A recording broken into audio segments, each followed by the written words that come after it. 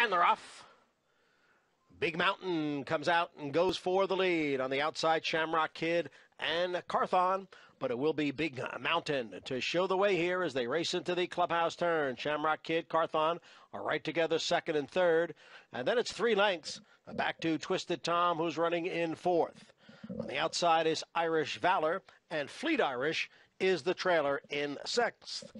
And now they're getting uh, close to Big Mountain here. It's Carthon right there on the outside through a quarter and 24 and 3. Carthon and Big Mountain heads apart. They've got three lengths on a Shamrock Kid, who races in third. It's another two and a half to a Twisted Tom, and Irish Valor and Fleet Irish continues to trail midway up the backstretch.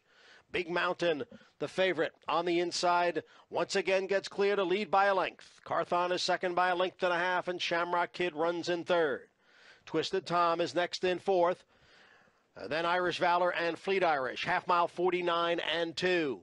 Big Mountain takes the field past the half mile pole, but there goes Carthon and there goes Shamrock Kid. So now it's three of them right together for the lead, with Twisted Tom just in behind in fourth.